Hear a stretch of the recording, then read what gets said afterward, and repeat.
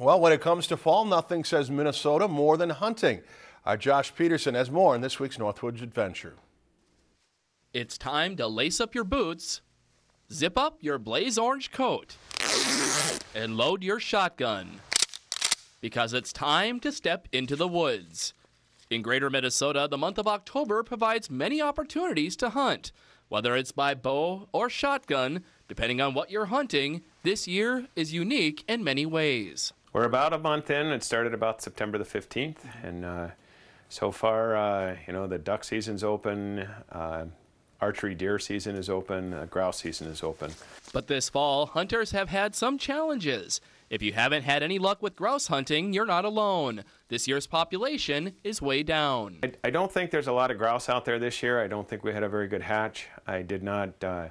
We didn't. Our drumming counts were down about 40% this year. To make grouse hunting even more of a challenge, the sustained life of the foliage on the trees adds an additional hurdle. The grouse hunting will actually get better as as more leaves fall off the trees.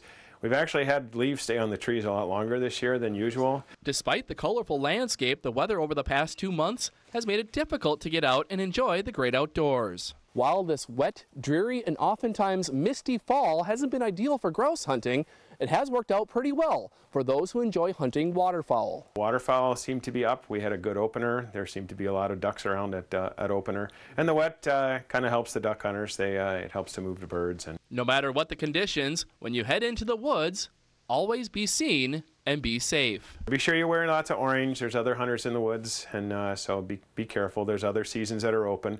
Not only is the grouse season open right now, but the archery season is open as well. And it's always better to be safe.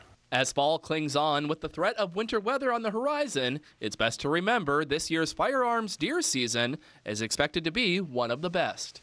With this week's Northwoods Adventure, in Bemidji, Josh Peterson, Lakeland News.